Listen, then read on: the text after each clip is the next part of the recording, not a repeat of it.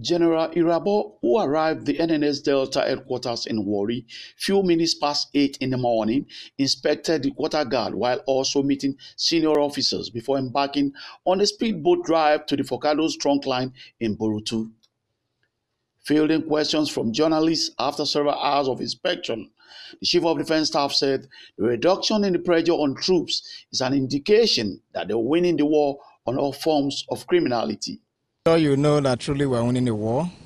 Why? The pressures that you talk about uh, compared to the past is not, it's not as much.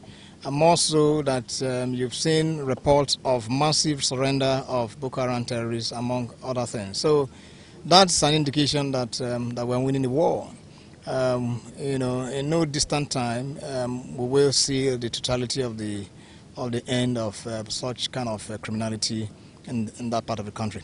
On the purpose of his visit, he said it is to see the troops and the operational activities, which he said is yielding the desired results. NNS uh, Delta for um, first to see the troops and then to also go to the front lines to see some of the activities that they're undertaking. And just came back from um, um, one of the forward operating bases, as it were, um, where they are having surveillance over the um, Focado uh, transfer Focado uh, trunk pipeline, which of course you know uh, the importance of it in the in um, the oil and gas uh, sector. So this is precisely why I'm here, and uh, so far so good.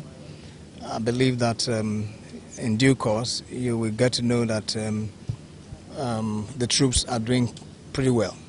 The visit by the CDS will no doubt push the operational capabilities of officers and men of the NNS Delta, led by the commander, Commander Abdul Hamid Babaino, and the Nigerian Army Sector 1 commander, led by Colonel Garba. Delta State, Telefason, Galaxy News.